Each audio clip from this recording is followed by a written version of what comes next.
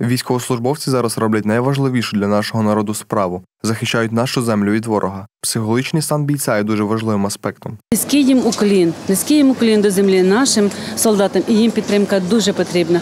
Всім нашим дітям, нашим внукам, нашим чоловікам і нашим синам. У мене син служив у АТО у 2014 році. Зараз він теж там. Я дуже переживаю за них всіх. Вони мені всі як діти. Психологічна підтримка армії дуже велика.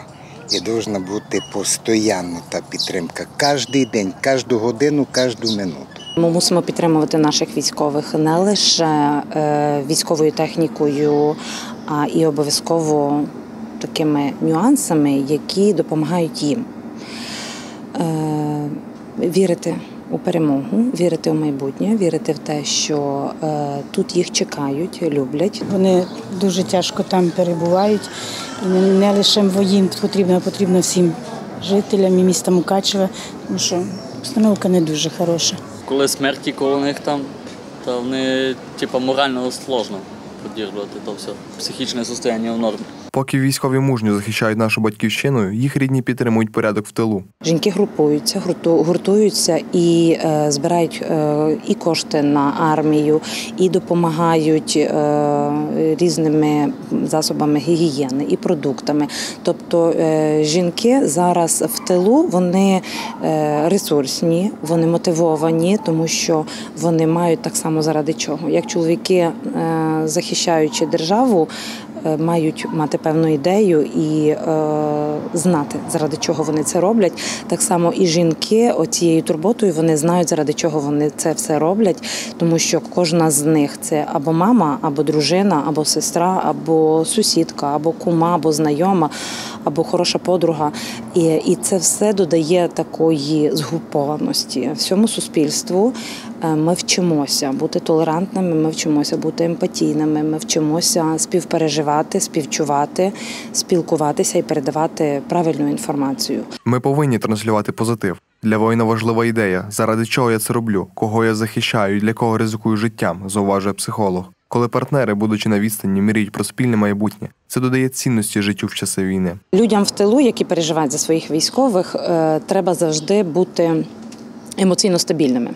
Чим більше людина емоційно стабільна, тим більше вона передає е, оці емоційні моменти людям на передовій, тому що йде спілкування як через смс, так через Viber, так і телефонним зв'язком. В телефонній трубці е, жоден чоловік і жодна жінка, військові не чекають від нас ридання, не чекають від нас переживання. Вони чекають від нас елементарного звичайного життя, тому що е, віра в майбутнє, віра в те, що тут все спокійно. Е, Чоловік переживає вже за себе. І якщо він вже буде ще буде переживати, переживати за дружину, за своїх дітей, за маму, за батьків, за тата, тоді він буде більш тривожний. А коли він знає, що жінка сказала, мама сказала, що тут все спокійно, ти переживай за себе.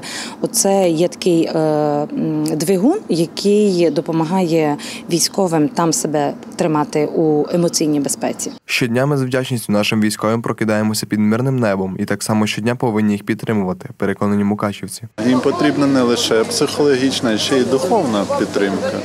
То країна має турбуватися про те, щоб більше підіймали військових капеланів, які б мали б е, спілкуватися з військовими та допомагати їм не лише психологічно, а й духовно.